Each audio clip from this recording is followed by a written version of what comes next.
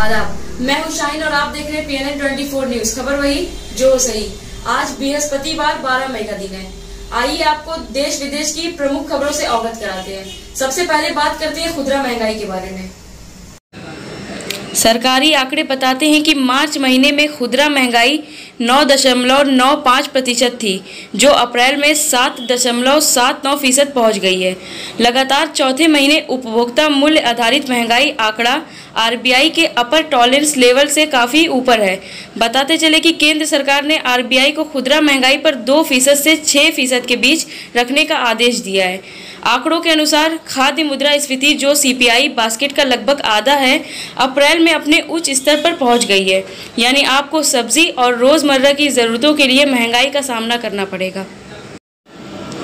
भयानक आर्थिक संकट से जूझ रहे श्रीलंका में रानिल विक्रम सिंधे ने लिया नए प्रधानमंत्री पद की शपथ।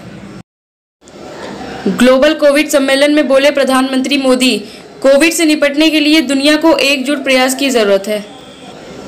उत्तर प्रदेश मदरसा एजुकेशन बोर्ड ने जारी किया आदेश। प्रदेश के सभी मदरसों में राष्ट्रगान अनिवार्य होगा। कश्मीर में आतंकियों ने सरकारी कार्यालय में घुसकर कश्मीरी पंडित की किया हत्या। घटना जम्मू कश्मीर के बड़गाम की है। मृतक का नाम राहुल भट्ट बताया जा रहा है।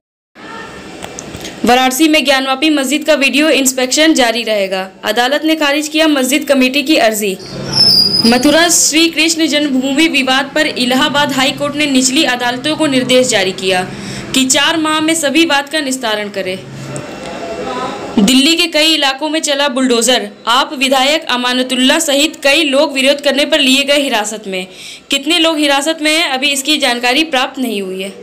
ये थी आज की प्रमुख खबरें। हमारे चैनल को सब्सक्राइब करें और बेल आइकन क्लिक करना ना भूलें। जुड़े रहे हमारे साथ। राम राम। दुआ सलाम।